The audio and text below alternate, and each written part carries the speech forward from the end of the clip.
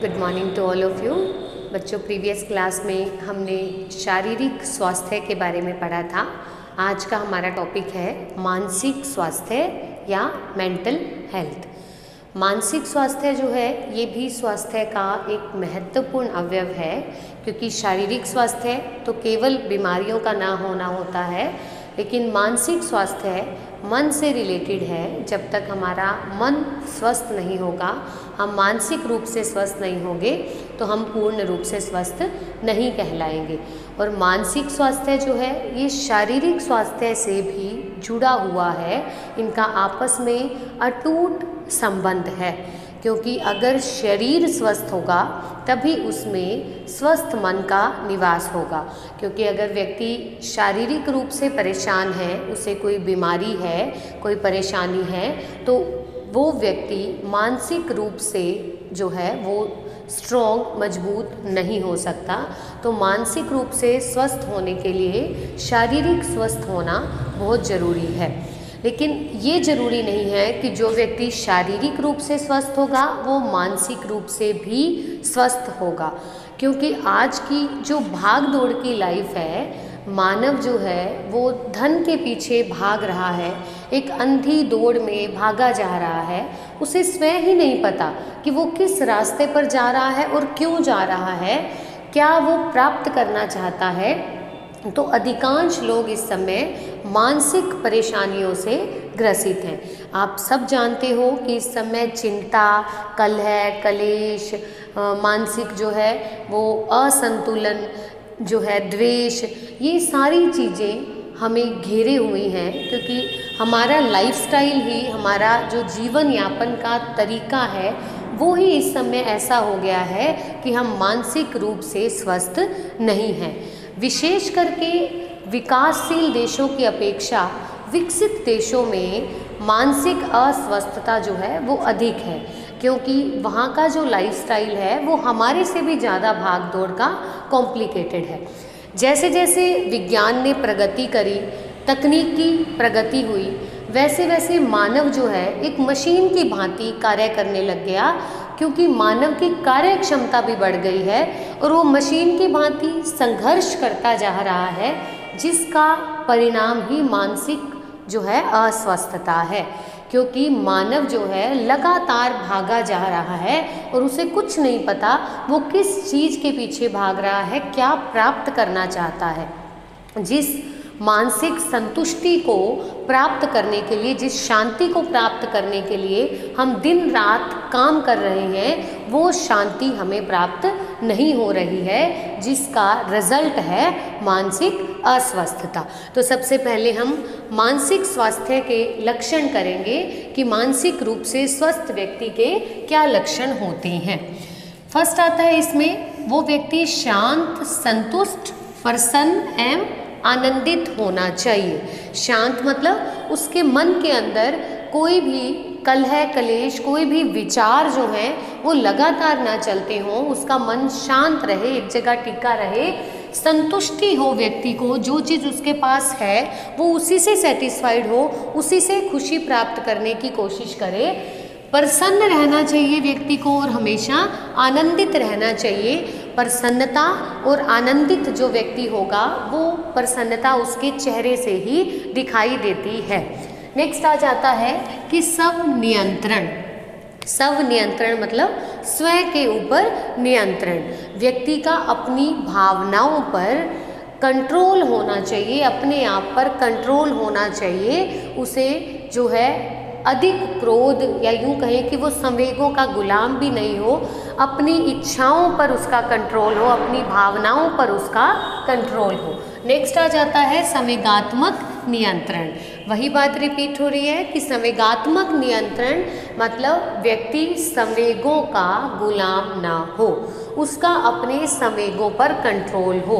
क्रोध, ईर्ष्या, द्वेष, जिज्ञासा, ये चीज़ें उसके ऊपर हावी ना हो, उसे परेशान ना करें। ना तो व्यक्ति खुशी में बहुत अधिक खुश हो जाए, ना ही दुख में इतना गमगीन हो जाए कि वो स्वयं को भूल जाए। मतलब उसे खुशी के समय और दुख के समय बैलेंस बनाना आना चाहिए, तभी व्यक्ति मानसिक रूप से स्वस्थ कहलाएगा। नेक्स्ट आता है समायोजन की क्षमता। व्यक्ति में एडजस्टमेंट की पावर होना चाहिए, समायोजन की क्षमता होनी चाहिए। जैसा वातावरण उसको मिले, उस वातावरण में वो स्वयं को ढाल ले, अपने आप को उसी वातावरण में समायोजित कर ले। नेक्स्ट आता है निर्णय लेने की क्षमता। जो मानसिक रूप से स्वस्थ व्यक्ति होता है, उसमें निर्णय लेने की क्षमता होनी चाहिए। वो कंफ्यूज ना रहे, कोई भी डिसीज़न लेना हो तो वो उसे सही ढंग से और अच्छा निर्णय ले सके। ऐसा तभी हो सकता है जब व्यक्ति मानसिक रूप से पूर्णतः स्वस्थ हो और वो जिस काम के बारे में निर्णय लेना चाह रहा है, उस काम पर फोकस करे, उस काम पर अच्छे से कंसंट्रेट करे और फिर उसके लिए अच्छे से अच्छा डिसीज़न ले। नेक्स्ट आता है आत्म नियंत्रण। व्यक्ति का अपने ऊपर नियंत्रण होना चाहिए।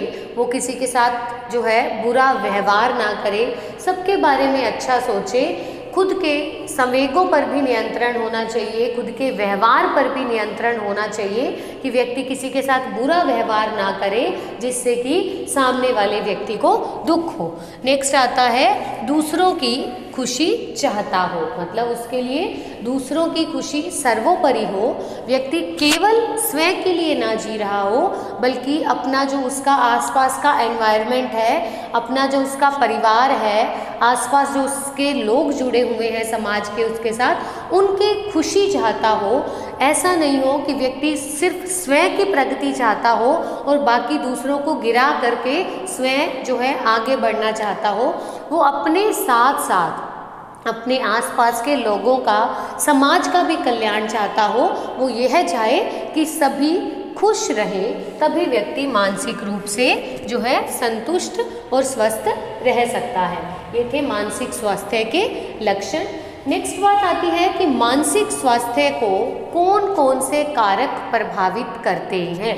मानसिक स्वास्थ्य को प्रभावित करने वाले कारक। फ़र्स्ट आता है शारीरिक स्वास्थ्य।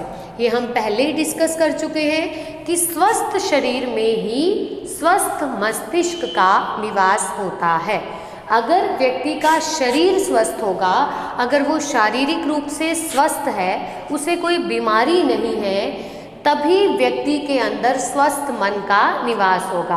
अगर व्यक्ति को कोई दुख है, कोई परेशानी है, कोई दर्द है तो वो व्यक्ति मानसिक रूप से परेशान नहीं, स्वस्थ नहीं हो सकता, क्योंकि उसका मन बारी बारी उस दुख के बारे में, उस बीमारी के बारे में सोचता है। इसलिए मानसिक स्वास्थ्य को प्राप्त करने के लिए शारीरिक स्वास्थ्य को प्राप्त करना अत्यंत आवश्यक है। नेक्स्ट आते हैं सामाजिक कारक। सामाजिक कारक मतलब हमारे आसपास का समाज, हमारे आसपास के लोग। आसपास के हमारे जो लोग हैं, हमारे जो कांटेक्ट में लोग आते हैं, वो भी मानसिक स्वास्थ्य को प्रभावित करते हैं। क्योंकि अगर हमारा बिहेवियर हमारा व्यवहार अच्छा है, लेकिन हमारे जो आसपास के लोग हैं वो लगातार हमें प्रताड़ित करते रहते हैं, हमें परेशान करते रहते हैं, उनका बिहेवियर अच्छा नहीं है, तब व्यक्ति मानसिक रूप से अस्वस्थ हो जाता है। इसे कहते हैं सामाजिक कारक कि समाज के लोग, हमारे जो आसपास के लोग हैं, अगर वो भी मानसिक रूप से स्वस्थ हैं, तभी हम स्वस्थ रह सकते हैं। अगर वो हमें मानसिक प्रताड़ना देते रहेंगे तो व्यक्ति मानसिक रूप से उनकी वजह से भी परेशान हो सकता है। नेक्स्ट रीज़न आता है वंशानुकरण।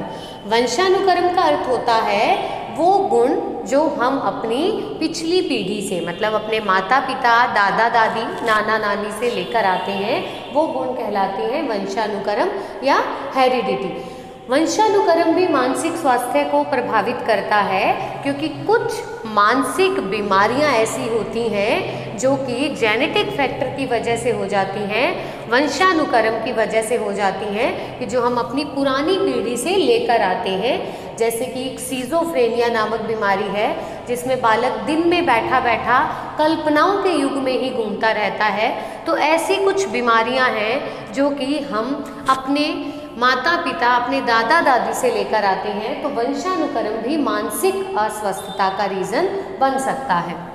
नेक्स्ट आता है ड्रग्स ड्रग्स मतलब नशा. जो लोग ड्रग्स लेते हैं, शराब पीते हैं स्मोकिंग करते हैं, वो लोग भी मानसिक रूप से अस्वस्थ रहते हैं, क्योंकि कहा तो यही जाता है कि ये चीज़ें मानसिक रूप से शांत करती हैं व्यक्ति को, लेकिन रियलिटी ये रहती है कि ये चीज़ें मानसिक रूप से शांत नहीं करती, बल्कि मन की, सोचने, दिमाग की सोचने, समझने की क्षमता को ख़त्म कर देती हैं। तो धीरे धीरे इनका इतना दुष्प्रभाव रहता है कि व्यक्ति मानसिक रूप से बीमार रहने लग जाता है। तो ये मुख्य कारक थे जो कि मानसिक स्वास्थ्य को प्रभावित करते हैं, उनके ऊपर इफ़ेक्ट डालते हैं। तो आज हमने मानसिक स्वास्थ्य किया, कल का हमारा टॉपिक रहेगा सामाजिक स्वास्थ्य। Thank you.